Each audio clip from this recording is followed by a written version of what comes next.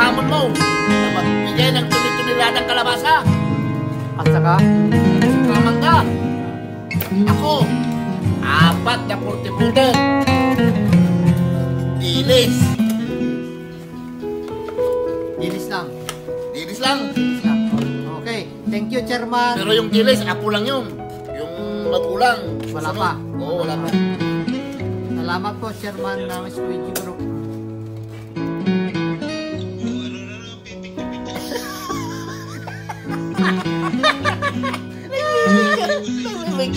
Gumagana pa yung isang cellphone. Po. Yung mahi-mahi po, yung mahi-mahi. Isa lang. Isang libo na yan. Saan? Pamimigay nyo po, pamimigay nyo.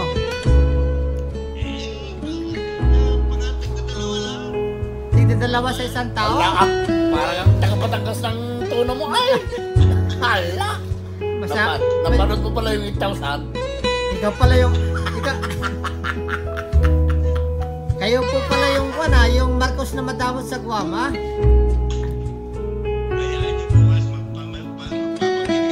Nang alin po, nang alin, nang alin.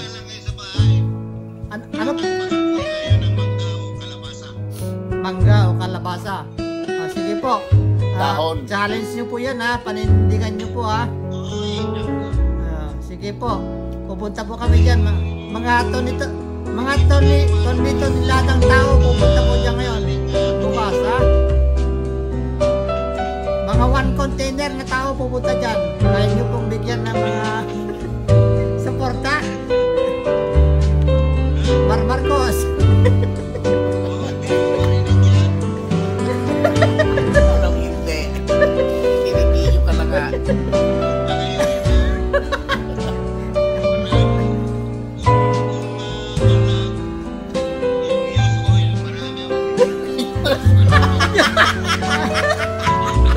Use oil? Ano pong makakain ng use Atin oil yun. na yan?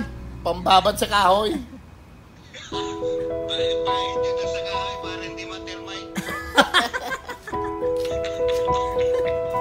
Ito po si, ha? Ito po yun, Don Marcos ng Guam po yan. Don Marcos ng Guam yan. Don Marcos ng Guam. Hahamonin mo. Hahamunin ko po, magbibigay po na ng isang container na. Alin po ang bibigay nyo isang container bukas? Dumating na ang sako! Bigas na lang ang kulang!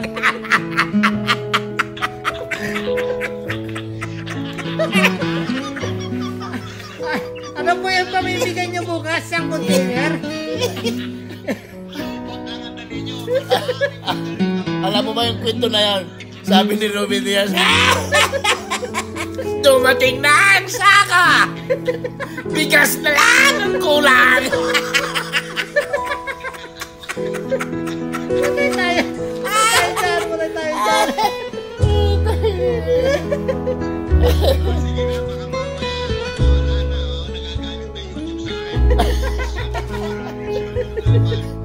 babayat.